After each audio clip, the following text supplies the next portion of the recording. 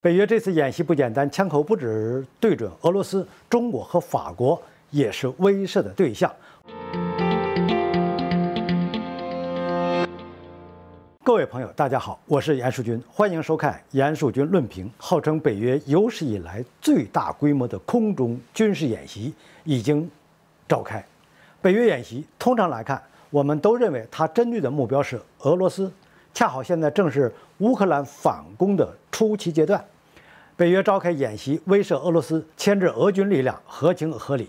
但这次演习的威慑目标其实还不仅仅是俄罗斯，还包括了中国和法国。美国这次是醉翁之意不在酒。为什么这么说呢？北约这次军演有两个非常特殊的点。第一，美国退居二线。北约声称这次演习是由德国主导，但怎么个主导法呢？我看了一下外媒的报道，通篇只提到了演习主要在德国的领土内召开的这一条。演习在哪国领土召开，就由哪国主导吗？这个理由在美国领导的北约显然是不成立的。尤其是我一看到这次军演的兵力占比，更加确认这事儿有猫腻。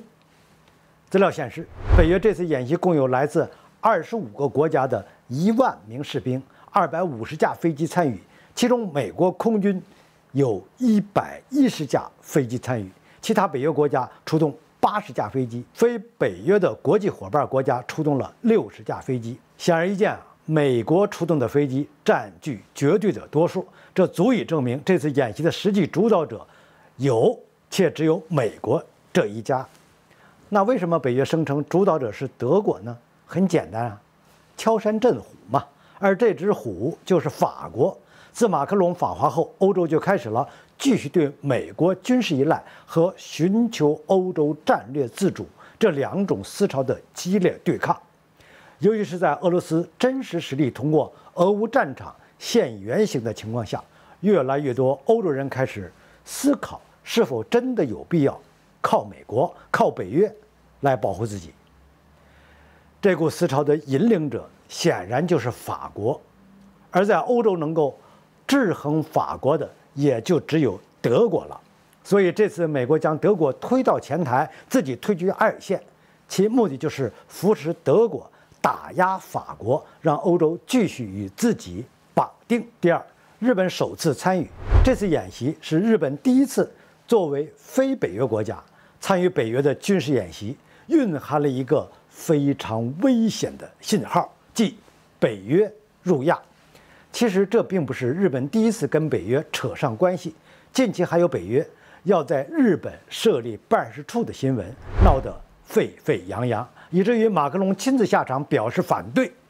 这背后透露的信息有两个：一是，一旦北约直接下场跟俄罗斯开战，不仅会有欧洲的北约盟国在西侧发起进攻。东侧的日本也不会置身事外，肯定会从东北亚方向对俄罗斯发起攻击，趁乱夺回南千岛群岛。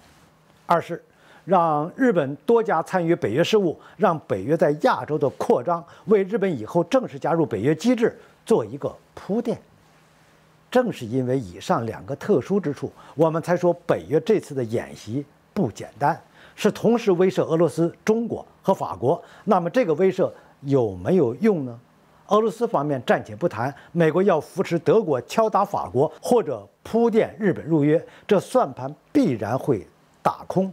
对于前者，德国本身也不是立场坚定的拥美国家，它也是有一定战略自主想法的。尤其是一年俄乌冲突吃了这么大亏的情况下，当俄罗斯暴露其虚弱的事实。欧洲走上战略自主，那就是必然的。既然欧洲必然会寻求战略自主，那北约又有何存在的必要呢？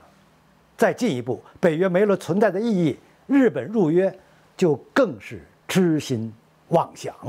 好，本期的话题就论评到这里，我们下期见。